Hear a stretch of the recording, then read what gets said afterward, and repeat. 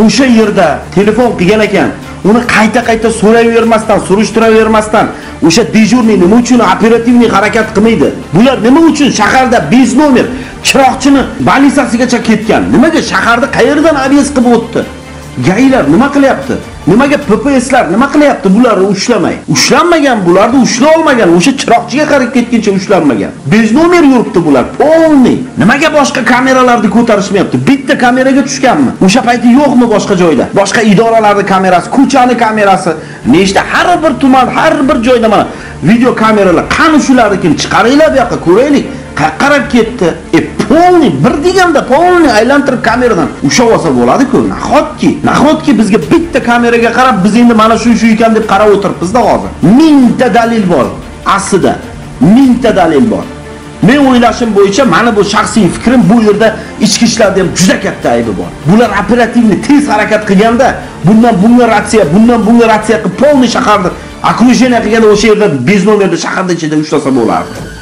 o'sha jentrani shaharda ichida ushlasa bo'lardi shaharda ichida ushladimi demak uni yordam berishardi o'sha yerda ichki ishlar полностью gaylar ppslar yordam berib sразу uni jonini saqlab qolsa bo'lardi o'sha yerda man tushunmaganim qiz bekorga aytmayapti man qizni gapiga hech qanday bir shubha sezmayapman haqiqatdan nechi marta telefon bo'lgan 102 ga boshqa bo'lgan lekin javob berilmagani man katta ehtimol bilan bu rost gap keyin yana bir 15 minut 20 minutdan keyin yana telefon qildim uruq qildim.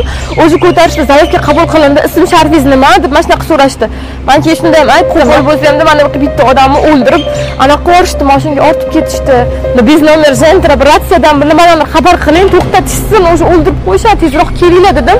Shunga qaramasdan mana shu ichki ishlar xodimlarimi militsiyami yarim soat qirq qirq besh minut deganda yetib kelishdi o'sha juda ham kech yetib kelishdi. Ichki ishlarda katta ehtimol bilan ayb. Agar o'shalar harakat qilishganida edi uchastkovoyni yonidagi nimada bo'lgan ekan o'zi asli bu yerda? Aniq bizga ko'rsatinglar yana ham chiqaringlar bu yerda dalillarni shaharda nima bittaginami kamera? Shumi bor yo'q shahardagi kamera. Hamma kameralardan o'tgan bu mashina u qora jentra bez nomer jentra hammasidan o'tgan. O'shalarni mana vaqti aniq kuni aniq hamma joyi aniq полный o'shalar tekshirib olsa bo'ladi-yu. O'shani ijtimoiy tarmoqqa bizga chiqarib ko'rsatinglar o'shani biz bilaylik hozir savol ketidan savol paydo bo'lyapti. Savol ketidan savol. Tiqib tashlash kerak. Ayamasdan bularga minimalni 18 yildan 30 yilgacha srok berib olish kerak. Mana shunday qilib bularga jazo berish kerak umrini gullagan davrini qamoqda o'tkazish kerak bular. Bitta sportchi o'lib ketdi bitta chempion o'lib ketdi mana. Mana ko'ryapmiz videolarni. Bundan oldingi videolarga o'tsanglar qanday? Sakrab aylanib deb o'zbekni bo'ykasi edi bu. O'zbekni bo'ykasi darajada shu darajada bir tryuk ustalar ustasi edi bu. Men ham qarshidaman. Men ham qarshida turaman do'stlar. Birinchi marta eshitishim hali bu darajada vahshiylik bo'lganini hali qarshida. Qarshida bo'lmagan shu paytgacha.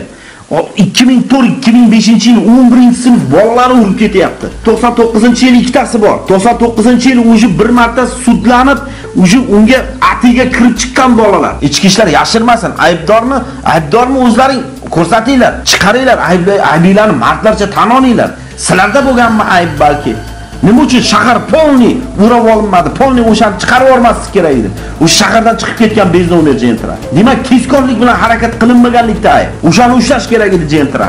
O'sha jentra ushlanganda edi, shahardan chiqmay ushlanganda edi, u chempion tirik qolardi. Onaizor ko'z yosh to'kilib qolmagan bo'lardi. Yurak bag'ri qon bo'lgan mana otani mana yig'laganini ko'rib o'tdik. Bir oila o'zini farzandidan ayrildi. Hali uylanmagan edi. 31 yoshli. endi bu yil uylanaman deb turganda otasi mana janozaga aylandi hammasi juda ham afsusdaman men bilmadim endi bunga qanday baho berishadi bu qanday bo'ladi sud albatta sudda biz ham ishtirok etamiz biz ham kerak bo'lsa gapiramiz o'zimiz fikrimizni tiqib tashlash kerak nagli aytaman men sudda tiqib tashlash kerak deyman bundaylarni man hayron qolganim mana shu yerda shuncha erkak turib shuncha erkak 50 dan oshiq erkak qarab birortasi bir tosh tosh bilan urmaysan birortasi shu ishni qila olmagan даже bitta chempion o'lib ketdi mana uylanmagan hali. Hali qancha qancha o'zbekistonimizga medallar olib kelardi o'sha. Meni bu videoga nisbatan o'zimni shaxsiy qarashlarim va shaxsiy fikrlarim edi. Sizlarda qanday fikrlar bor? Marhamat kommentariyaga yozib qo'yinglar. E'tibor uchun rahmat salomat bo'ling.